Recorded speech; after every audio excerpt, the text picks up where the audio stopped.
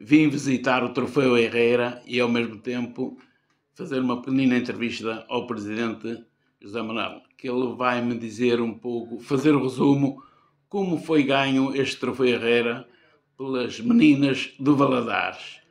Bom dia, Presidente. Queria que me fizesse um pequenino resumo, como é que foi feito para ganhar este troféu Teresa Herrera, que é raro vir para Portugal um troféu destes. Bom dia. Uh, primeiro foi uma honra, naturalmente, o clube ter sido convidado para ir à Coruña disputar o troféu Teresa Herrera.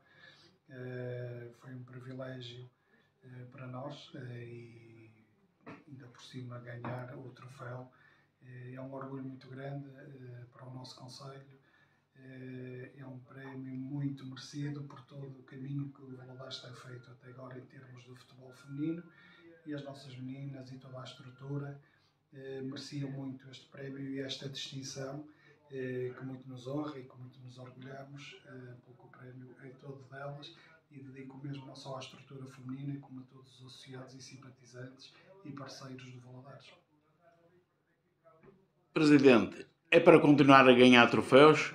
com a equipe feminina? Eu acho que qualquer clube se preze eh, tem que haver a ambição de ganhar troféus, não é? Seja com a equipa feminina, seja com a equipa masculina. E o Valadares não foge à regra, é um clube ambicioso, com os pés bem assentos no chão e nós ambicionamos naturalmente mais troféus. Tem sido um hábito as nossas meninas, o nosso futebol feminino, eh, conquistarem troféus importantes para o, para o clube este é apenas mais um, é um troféu mítico, é um troféu que se realiza desde 1946, os troféus mais antigos, se não mesmo o mais antigo, a nível mundial. E como referi há pouco, foi um orgulho disputá-lo e uma honra uh, e vencê-lo. Então é a cereja no topo do bolo, como se costuma dizer. Presidente, agora mudando para, para os homens, para a equipe sénior, uh, masculino, o que é que antevê agora para o campeonato que se avizinha?